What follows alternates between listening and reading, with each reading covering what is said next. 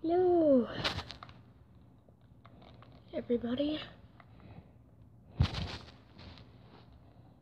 I don't have a, I obviously don't have a full body one.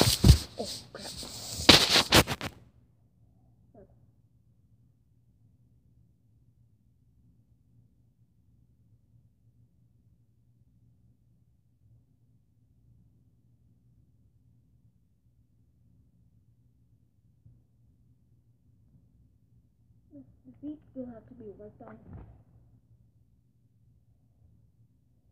Don't touch me if you do.